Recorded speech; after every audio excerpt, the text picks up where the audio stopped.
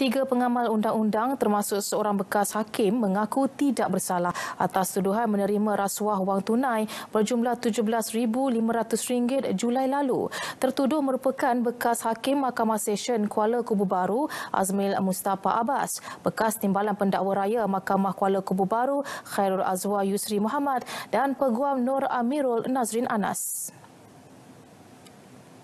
Ketiga-tiga tertuduh didakwa menerima suapan wang tunai RM17,500 daripada Wong Chiu Hong suapan sebagai upah kepada Azmil Mustafa untuk hanya menjatuhkan hukuman denda ke atas tujuh pendatang asing yang melakukan kesalahan di bawah perenggan 6 kurungan 1 kurungan C atau Immigration 1959 Palang 63. Kesalahan didakwa dilakukan di Mahkamah Session Kuala Kubu Baru 17 Julai lepas. Pertuduhan mengikut perenggan 16 kurungan A kurungan B atau SPRM 2009 yang membawa hukuman penjara sehingga 20 tahun dan denda tidak kurang lima kali ganda nilai suapan atau RM10,000 atau kedua-duanya sekali.